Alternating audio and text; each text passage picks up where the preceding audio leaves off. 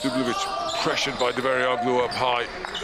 Van Rossom finds Dubljevic down low, and Dubljevic is fouled as he closes out the score. Nothing to write home about for either team. 40% for Valencia, 20% Fenerbahce. That'll be easy points, though.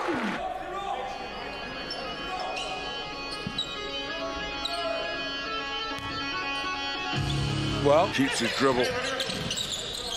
Goes through the legs of Tobey, but he goes to a Valencia player and Van Rossom with another pretty reverse layup. Vesely. Backdoor cut from Brown, stolen by Van Rossom. And then in transition, Tobey to the rack, gets the score. He's fouled by Eddie. Good covering defense from Valencia, but they end up with Brown open for three. He can't get the score.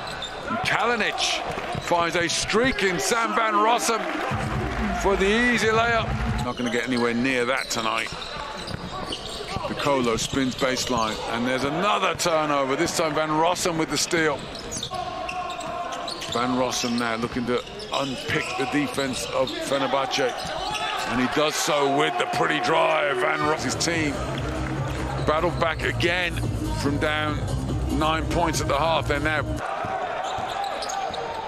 Fenerbahce looking to do the same.